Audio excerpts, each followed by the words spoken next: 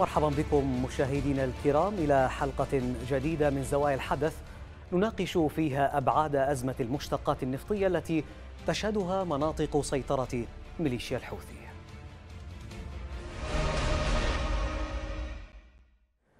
في ظل الضجة التي يشهدها الرأي العام اليمني بخصوص نية ميليشيا الحوثي تطبيق قانون الزكوات والجباية الخمس على أساس التمايز الطبقي ظهرت فجأة أزمة مشتقات نفطية في مناطق سيطرتهم. ثمة من اعتبرها أزمة مفتعلة لتشتيت الرأي العام وإشغاله والتخفيف من حملات الغضب التي تشهدها وسائل التواصل. بينما يتهم الحوثيون الحكومة والتحالف بمنع وصول سفن الوقود والوقوف وراء الأزمة.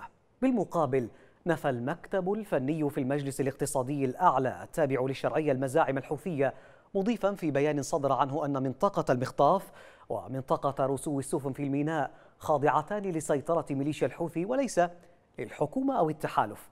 وحمل المكتب المبعوث الأممي إلى اليمن مسؤولية أي سحب من رسوم واردات الوقود البالغة 45 مليار ريال. وأضاف أن الميليشيا تتعمد تفريغ سفن الوقود والغذاء بوتيرة بطيئة بهدف تراكم السفن في تلك المنطقة وتجاوزها حدود الأمن والسلامة. نتوقف عند هذه المستجدات لنناقشها في محورين. ما حقيقة هذه الأزمة وما أبعادها؟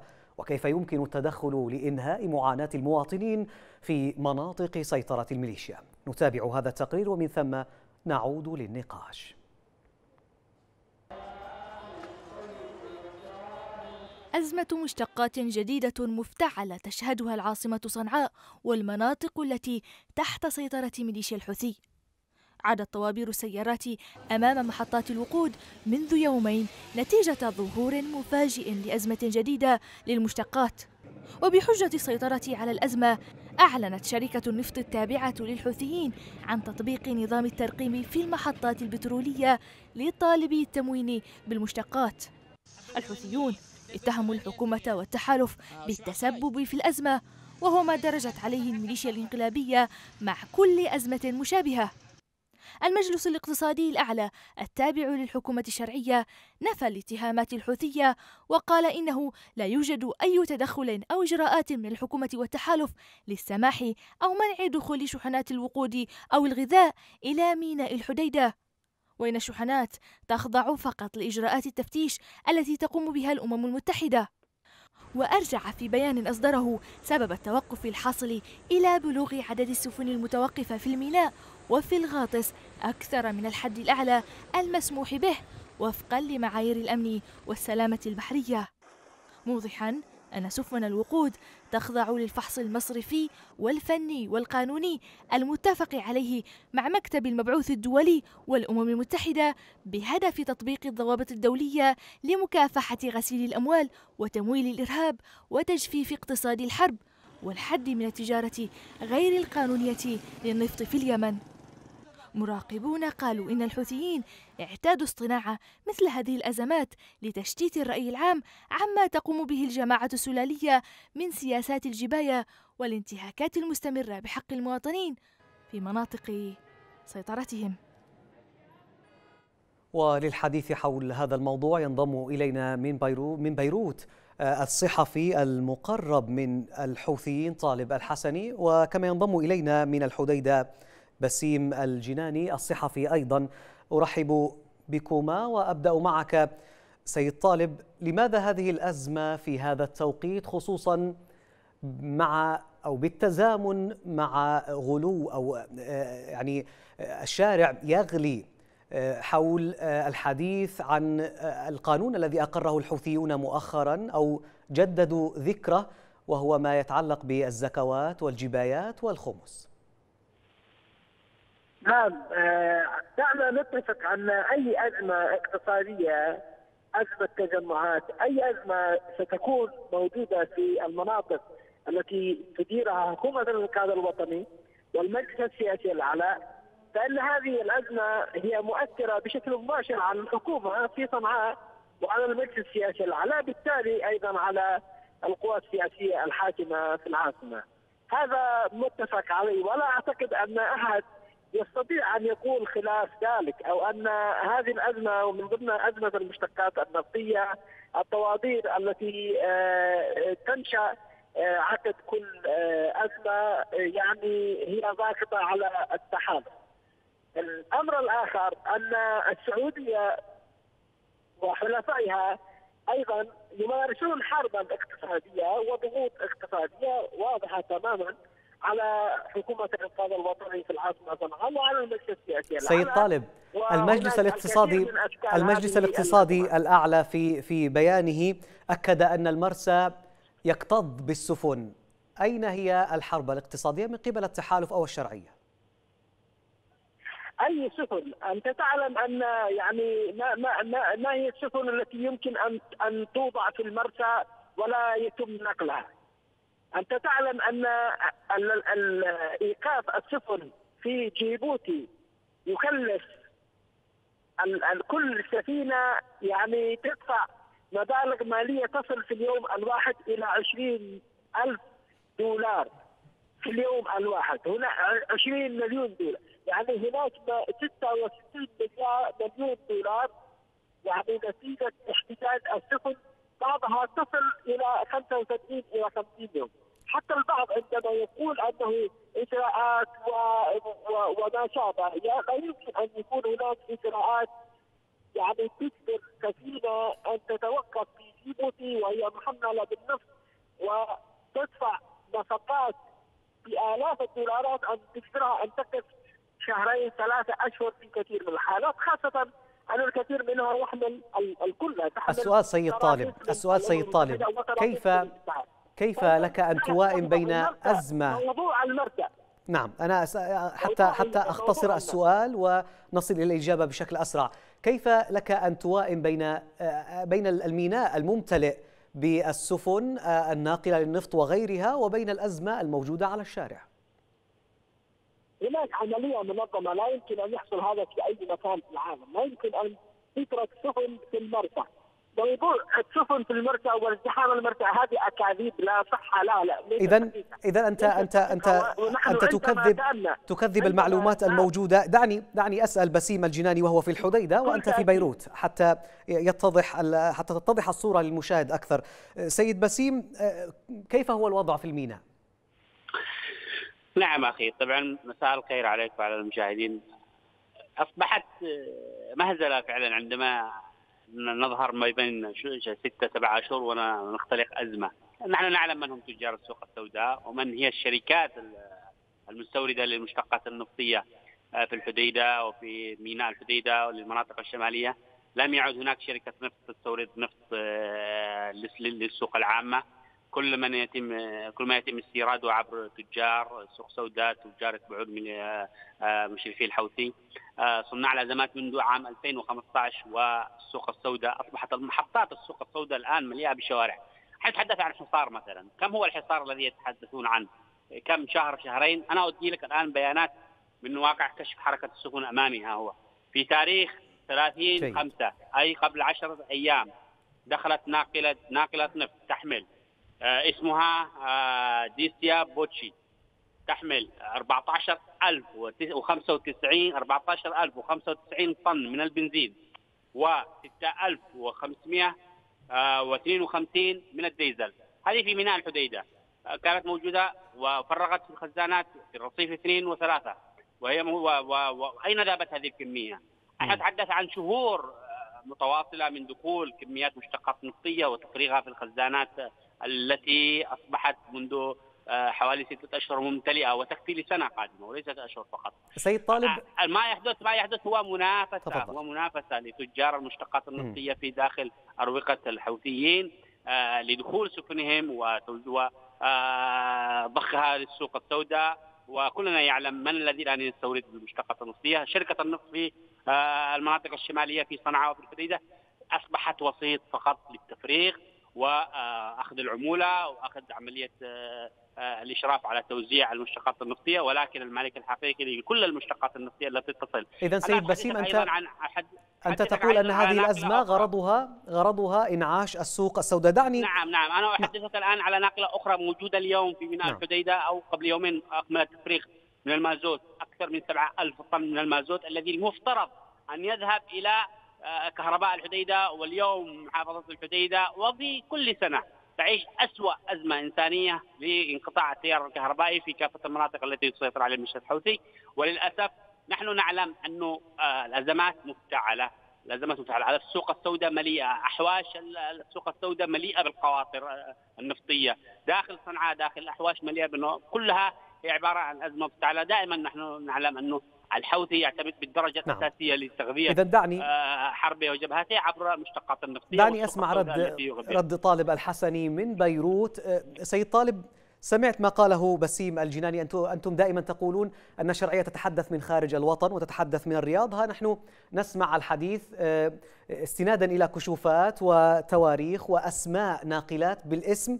آه، ومن شخص في الحديدة يقول أن الميناء تصله السفن والشحنات المشتقات النفطية بانتظام. إذا لماذا الأزمة على الشارع؟ لحظة يعني لاحظ أنه اولا آه، ذكر سفينة تركي وهي لم تكن حتى الآن لا تزال في جيبوتي 16 سفينه تحمل نفط وتحمل مشتقات أيضا ومنها أيضا غاز ولا تزال في جيبوتي لاحظ موضوع السوق السوداء. إذا كان يقول أنه شركة النفط التي تتبع عبد ربه منصور هادي وحكومته لا تعمل في صنعاء فإذا كيف يمكن أن نحمل المجلس السياسي الأعلى وحكومة الانقاذ الوطني مسؤولية هم الحكومة حاليا؟ وأيضا نقول ولكننا سيد طالب حتى آه، يكون حتى يكون الكلام منطقي. نحن الآن نحمل من يسيطر على الميناء وليس من يسيطر على شركة النفط. طيب طالما أنتم تحملون. من يسيطر على ليس نحن من نحمل. أقصد ان أن من يحمل من يحمل من يحمل المسؤولية هو المجلس الاقتصادي الأعلى. يحمل الحوثيين لأنهم يسيطرون على الميناء وهو أو هو المنطقة طيب. التي تصل إليها السفن. السفن لا تصل إلى شركة النفط طيب، إنما تصل إلى الميناء. نعم. دعني أتكلم. كيف يمكن أن نحملهم المسؤولين ثم نقول أنهم هم سبب المسؤولية وسبب الأزمة لأنهم يريدون أن يكون هذا النفط يعني يصل إلى السوق السوداء، يعني هم الحكومة وهم السوق السوداء في نفس الوقت. ما هذا التناقض؟ يعني هم الذين يتحملون المسؤولية وهم أيضا السوق السوداء. هناك شركة النفط التي في العاصمة صنعاء هي من تدير هي من تدير النفط الذي يصل إلى المدن اليمنية التي يعني تتحمل مسؤوليتها حكومة الانقاذ الوطني والمجلس السياسي الاعلى. لا يمكن أن تسمح هذه الحكومة بسوق سوداء لأنها ستضر الحكومة نفسها ستضر سيد طالب كيف النفط. أيضا هي من تشرف كيف لحكومة الحوثيين؟ كيف لحكومة الحوثيين الا تسمح بسوق سوداء؟ ونحن ونحن كأبسط مثال وأوضح مثال صنعاء في أغلب الأوقات آه، لا لا تشتغل أو لا يباع الديزل والبترول إلا في السوق السوداء.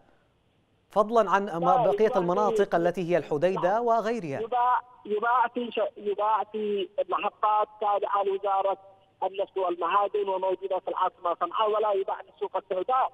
إذا بيع في السوق السوداء فهو ضد حكومة الإبطال الوطني وهي المسؤولة عن متابعته. وال... السوق السوداء بالنسبة للفيديوهات التي تصل على مواقع التواصل ونحن نرى أنا أقول لك. نعم. يا دعني أتكلم وأوصل معلومة واضحة. يعني الضيف الكريم تحدث عن السوق السوداء وتحدث. يعني لأنه واحدة من الأسباب التي تؤدي أن التحالف وحكومة عبد الرب منصور هادي يوقفون السفن أنهم لا يريدون أن يتعاملوا مع تجار النفط وأيضا مع شركة النفط أيضا اليمنية التي في العاصمة صنعاء وبالتالي يعاقبون هؤلاء التجار ويعاقبون الشركات التي التي تستورد النفط بدفعهم إلى أن يدفعوا تكاليف باهظه بسبب أنهم يحتجزون السفن. العملية عملية حرب، عملية عملية مماحكات، يعني لا يريدون أن يتعاملوا مع تجار النفط، مع شركات النفط، لأنهم يعتقدون أن هؤلاء يخدمون الحوثيين كما يقولون لكن الذي يتضرر هو المواطن. أما أن نقول أن هناك سوق سوداء دعني أوصل هذه الرسالة. أما أن يقولوا أن هناك سوق سوداء ثم يقولون أن الحوثيين هم السوق السوداء ثم يقولون أن حكومة صنعاء تتحمل المسؤولية ثم ينكرون أيضا أن هناك احتجاج للسفن. ثم يقولون أيضا أنهم احتجزوا السفن بسبب ان المرسى مليء بالسفن. هذا تخبط واضح. اذا دعني أعود لبسيم دعني أعود لبسيم حتى يكون الوقت مناصفة كما تريد يعني كما تريد وهذا المنطق وهذا المنطق سيد طالب. بسيم آه، طالب يقول أنه ليس هناك سوق سوداء ولماذا قد يفتعل الحوثيون أزمة حتى تزيد العبء عليهم خصوصا مع مع في ظل انتشار كورونا وفي ظل غليان الشارع مع هذا القانون الجديد المتعلق ب وليس الجديد إنما المستجد آه، ما يتعلق بالزكوات والخمس وغيرها. نعم أخي طبعا آه، هي سوق سوداء وهي منافسة في السوق السوداء. هي مليارات تضخ لجيوب المشرفين على هذه السوق. أولا دعني أوضح آلية دخول السفن الخاصة المشتقات النفطية لميناء الحديدة منذ عام 2017 وتحولت آلية آه، دخول السفن أحيلت إلى الأمم المتحدة عبر مكتبها في جيبوتي وهي التي تشرف بالدرجة الأولى وتصدر التصاريح لدخول السفن إلى ميناء الحديدة منذ ذلك الوقت. وكل السفن التي تدخل إلى ميناء الحديدة يصدر بها تصاريخ وتقوم عمليه تفتيشها داخل جيبوتي. هذا منذ عام 2017 بالتحديد. اولا عندما نتحدث عن مثلا الشركات آه، التي تعمل خارج إطار شركة النفط نحن عندما نتحدث عن شركات آه، وأسماء حتى قد تكون وهمية كلها عبارة عن غسيل أموال ولدخول المشتقات النفطية. وكلها أنشئت بعد دخول الحوثيين إلى آه، المناطق الشمالية وأصبحت شركة النفط هي عبارة عن مشغل فقط. تشرف على عملية إدخال السفن وتأخذ عمولتها وداخل وداخل خزانات منشآت النفط. يعني فقط يعني أعطيك بعض الأسماء التي أنشئت وهي تتبع قيادات حوثية مثل محمد علي الحوثي ومحمد علي سليته آه، شركة تامكو شركة بتروليس الامتياز الدولية شركة الزهراء الزهراء آه، شركة Fuel Oil آه، شركة قصور صنعاء يمن إيلاف Star Plus أتيكو أديما Black Diamond آزال بترولين جيما يمن جازولين أمان Atlantic Oil ميشال كلها هذه الشركات جديدة استحدثت بعد أن همشت شركة النفط اليمنية في صنعاء وأصبحت عبارة عن مشغل فقط. وكل هذه الشركات التي تستورد الآن النفط إلى المناطق الشمالية تتبع قيادات حوثية وهي من تتحكم بسوق النفط. وكل ما يحدث اليوم آه، عبر آه، ميناء الحديدة هي عبارة عن منافسة لدخول كل من لرغبة كل من هذه الشركات إدخال حصتها من النفط التي تضخ إلى السوق للكسب فقط. ميناء الحديده قلت لك هناك أكثر من ست إلى سبع حاويات اليوم. عفوا بواخر موجودة الآن في رصيف ميناء الحديده منها حاويات منها غذاء منها قمح منها علاجات منها أدوية. آه المازوت قلت لك اليوم موجود آه داخل ميناء الحديده بينما يذهب إلى مصانع تجارية كمصنع عمران وغيرها. وللأسف الحديدة تغض في الظلام وتغض في المعاناة آه ولا يعني كل همهم اليوم هو فقط ضخ المشتقات النفطية للسوق السوداء وانعاشها فقط. هذا هو.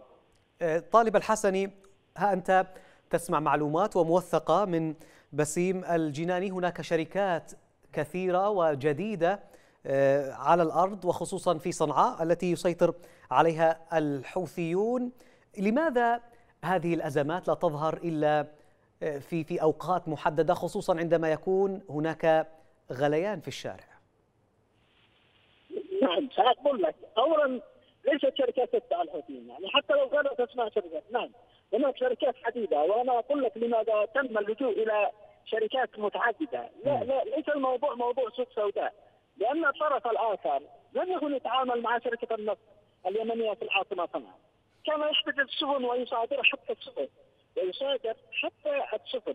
وبالتالي كان هناك صعوبات كثيرة أن تقوم شركة النفط في العاصمة صنعاء في العمل. وبالتالي لجأوا إلى أن يكون هناك عدد من الشركات. والحقيقة في كثير من هذه الشركات التي ذكر أسماءها ليست موجودة في العاصمة صنعاء وإنما حتى هناك من يؤيد من من ضمن هذه الشركات. وأيضا حتى كان العيسي العيسي وهو تاجر نفط وهناك تجار كثير يريدون العدوان. ولكنهم يشتغلون تجارة يعني أنت تريد أن تقول لي تريد أن تقول لي سيد طالب أن هناك مساحة من الحرية التجارية والاقتصادية والسياسية في مناطق سيطرة الحوثيين حتى ينشئ أي شخص شركة آه، شركة تتعلق بالنفط وبالمشتقات ويشتغل. هناك تعاون هناك تعاون نعم هناك تعاون مع تجار كثير يشتغلون في التجارة ومن الطبيعي خاصة أن شركة النفط في العاصمة صنعاء كانت تتعرض لمصادرة سفنها وهذا كان يحصل من في 2017 وفي أكثر من آه، من فترة يعني. وبالتالي هناك صعوبات بأن تقوم شركة النفط في العاصمة صنعاء بكل هذه الاعباء، بالتالي هناك كثير من التجار كثير من الشركات بدات تعمل في النفط، هذا أمر عادي جدا، ليس الموضوع لا موضوع سوق سوداء ولا موضوع مثل ما تقول حريات للتجاره، طبيعي أن يكون هناك حريات للتجارة بالتالي بالنسبة للتجارة لأن اليمن يعني كيف يستقيم الكلام يعني سيد طالب أن هناك حرية في التجارة؟ ونحن ونحن كما يتكلم سكان صنعاء وغيرها من المناطق التي يسيطر عليها الحوثيون أن أن كل من المباني والأراضي التي تشترى مؤخرا والمباني التي تنشأ هي أملاك لأناس يعني يتبعون الحوثيين. كيف يستقيم هذا الكلام؟ أن هناك حرية يعني في التجارة والأملاك الجديدة بأسماء آه، مشرفي حوثيين حوثيين وغيرهم. شيطنة الحوثيين إلى هذه الدرجة يعني هي لا تقدم ولا تؤخر. حملات الشيطنة جزء من الحرب الإعلامية ضد الحوثيين. طبيعي جدا. نحن نستوعب كل هذا الذي يحصل. يعني موضوع الشيطنة لهذه الدرجة يعني في في كثير من المبالغة وكثير من المكر السياسي لأنه العاصمة صنعاء وحكومة القاد والمجلس السياسي الاعلى بالتالي حتى أنصار الله وحلفائهم من مصلحتهم أن يكون هناك نشاط تجاري من مصلحتهم أن يكون هناك تعاون مع التجار لأن اليمن يتعرض للحصار. أنا أقول لك الحرب الحالية هي حرب حصار حرب اقتصاد. يعني تم نقل البنك المركزي من العاصمة صنعاء وذهبوا به إلى عدن وما استقر في عدن وهناك الكثير من ال ال الكثير من ال ال ال الأخطاء الكارثية على الاقتصاد. إذا سيد طالب سيد طالب أنت يعني تقول أن هناك تقول أن هناك شيطنة فوق اللازم لمن لمن سجونه تمتلئ بالمختطفين والمعتقلين. أشكرك طالب الحسني كنت معنا من بيروت وأعود إليك بسيم. بسيم يعني في ظل هذه الاتهامات المتبادلة وفي ظل المعلومات التي أوردتها آه، حضرتك يعني كيف تتحمل الحكومة مسؤولية في هذا الوضع؟ ما مسؤولية الحكومة وكيف لها أن أن أن تقدم آه، عونا أو آه، فرجا في هذه الأزمة؟ نعم أخي يبدو أن ضيفك لا يعلم فقط من من اتخذ قرار التعويم هو من أتاح لهذه الشركات بالعمل و انعاش السوق السوداء داخل المناطق التي يسيطر عليها الحوثيين منذ عام 2015 نهاية 2015 مع بداية 2016 قرار محمد علي الحوثي من المجلس السياسي بتعويم شركة النفط اليمنية واستيراد المشتقات النفطية هو الذي فتح مجال للسوق السوداء في كافة المناطق التي المناطق التي يسيطر عليها الحوثيين، لم يعد لشركة النفط في المناطق التي يسيطر عليها الحوثيين أي دور في توزيع في بيع المشتقات النفطية أو استيرادها، فقط هي عبارة أنا أسميها سمسار فقط. تعمل لتسهيل عملية دخول المشتقات النفطية في خزاناتها وتوزيعها وتأخذ حقها. أما من يدفع من يستورد من يحصل على الفوائد من يضخ السوق السوداء حتى أسماء المحطات التي تخرج آه، منها من شركة النفط إليها للضخ للأسف تذهب إلى الأحواش تذهب إلى آه، مناطق سيطرة الحوثيين في كافة المحافظات الشمالية. حتى من كانوا يصدرون كشوفات توزيع المشتقات النفطيه أصبح آه، على يعني بشكل آه، متقطع وليس كما كان. الحكومة لابد إلغاء اولا إلغاء قرار التعويم وإلغاء هذه الشركات الوهمية التي أصبحت واضحة جدا لغسيل الأموال وواضحة جدا لاستيراد المشتقات النفطيه وإنعاش السوق السوداء. أنا أؤكد أن ما يحدث داخل أروقة الحوثيين هو عبارة عن منافسة آه، كبيرة جدا لهوامير المشتقات النفطيه لابد أن تعاد لشركة النفط هيبتها ودورها في آه، استيراد أشكرك بسيم. بالسعر العالمي. نعم, نعم. بسيم الجناني أشكرك كنت معنا من الحديدة وينضم إلينا رئيس مركز الدراسات والإعلام الاقتصادي مصطفى نصر. سيد مصطفى أهلا بك. أهلا وسهلا بك وبالمشاهدين الكرام. كيف ترى نشوء أزمة في هذا التوقيت؟ في الحقيقة آه، أمر مستغرب أن تحدث أزمة في هذا التوقيت في ظل آه، تراجع أسعار النفط العالمي وحالة الكساد التي يشهدها سوق النفط في العالم. في تصوري أن هذه الأزمات المفتعلة يقف وراءها لوبي كبير من المستفيدين من من هذه الأزمات وبالتالي يعملون على المضاربة بأسعار المشتقات النفطية و زيادة أسعارها وبالتالي جني مزيد من من الأرباح. هذا يتطلب في الحقيقة أن يتم الكشف عن هذه عن هذه الممارسات وفضحها أمام الناس كون هذه هذه الأزمة لا يوجد ما يبررها هناك تدفق كبير دولي للنفط في المرحلة الراهنة. وأمر كما قلت مستغرب أن يحدث هذا الشيء في ظل هذا الكساد العالمي للنفط. إذا ما أبعد هذه الأزمة؟ إلى ما ستؤول إليه؟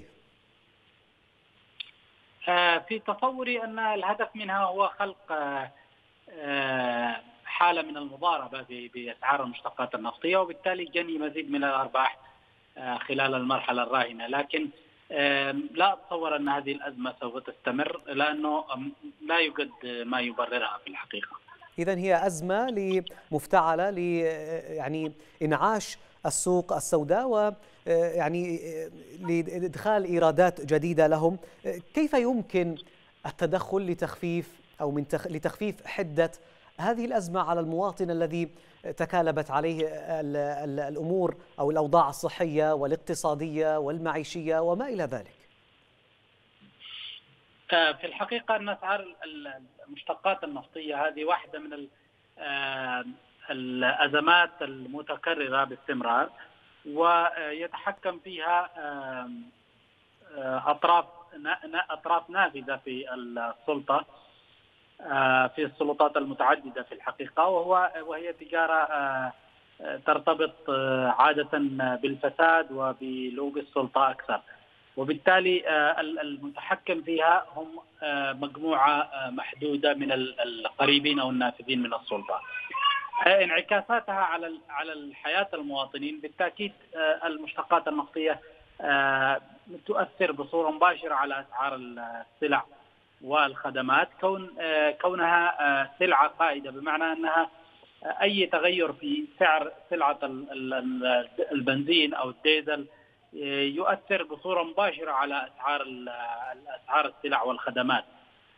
تتأثر حركة النقل تتأثر أسعار الخدمات. الآن إنتاج الكهرباء وغيرها من من الخدمات سؤال أخير سيد مصطفى من ناحية اقتصادية نعم. ما الذي بيد التحالف والحكومة آه، عمله لكي آه، تكبح أو يكبحان جماح هذه الأزمة بالحقيقة آه، سلطة الحكومة المعترف بها دوليا على مناطق سيطرة جماعة الحوثي محدودة للغاية وبالتالي من الصعب الحديث عن عن تأثير مباشر آه، للمناطق التي يقع فيها آه، المواطنون تحت سيطرة آه، جماعة الحوثي، لكن هناك إشكالات متعلقة ب بعملية الاستيراد، هذا على الحكومة أن أن تعمل على تسهيل هذه الإجراءات، إشكالية مثلا في ميناء عدن وإشكاليات في ميناء الحديدة وإشكاليات كبيرة مرتبطة بالحكومة المعترف بها دوليا الحكومة اليمنية وأيضا آه، مرتبطة بالتحالف.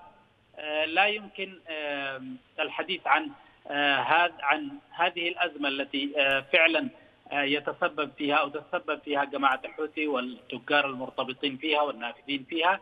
أيضا دون الحديث عن مسؤولية الحكومة في إطار ما هي معنية به ما يتعلق بعملية تسهيل التراخيص وعملية تحسين إدارة الموانئ اليمنية باعتبارها هي المتحكمة إلى جانب التحالف وتحديدا نعم. المتحكم الرئيسي التحالف خلال هذه المرحلة. مصطفى نصر رئيس مركز الدراسات والإعلام الاقتصادي شكرا جزيلا لك كما أشكركم مشاهدينا الكرام على حسن المتابعة وإلى اللقاء.